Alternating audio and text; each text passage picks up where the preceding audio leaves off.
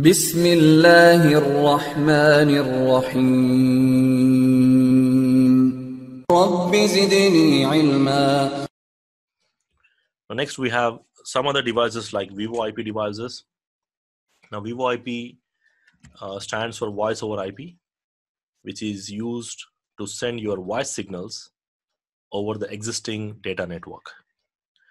Like generally when we talk about voice, voice is nothing but your video calling or video voice calling, like your calls. Now normally the voice and the video traffic is used on telephone network generally we call it as PSTN, uh, public switch telephone network, right? If you want to make a call to your friend, normally we dial the number and we, we just make a call. So which means you have a separate network which is built for voice and separate network which is built for data. Data, data again, we use internet. That is your data, right? Generally, that is your data, or maybe your private WAN connection connecting this branch office and this branch office is your data network. So initially the data network and voice network both are different, but nowadays it's merged. Now whatever the network which is built to connect my branch offices, let's say. So initially we used we used this for data, sending and receiving the data. Now it's no more data. We can also connect some IP phones. So we have a dedicated devices called IP phones. You can see here. Now these devices have the same RJ45 connector, just like we have on the backside of your computer. And this device will get an IP address, just like a computer. And you can use these IP phones to send your voice as well as the video signals. So even there are some phones which has a video inbuilt, like just like you do video conferencing call, video call, similar to that.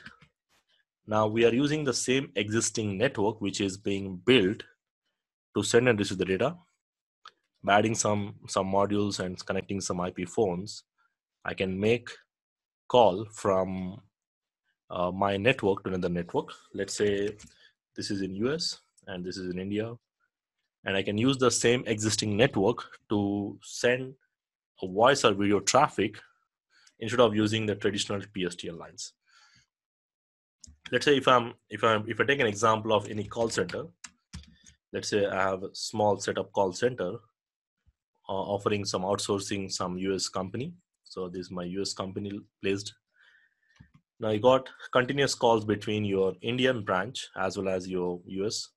So if you're using PSTN line continuously, let's say your 12 hours per day, then that's going to cost you a lot.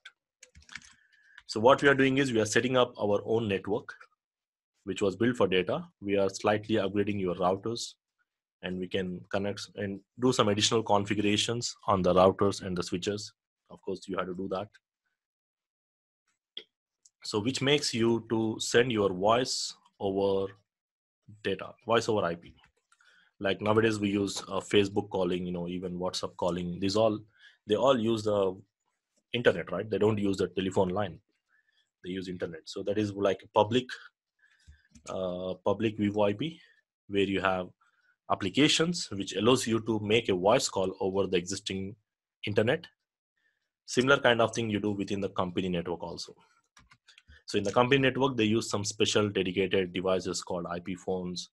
Uh, there are there are plenty of devices like cucm you know there are plenty of devices which are required to manage this. Okay so so they carry the voice signals uh, over the network.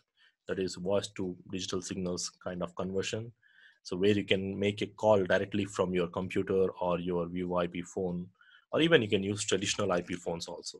Even you can connect a traditional landline phone and you can make a voice call over the existing data network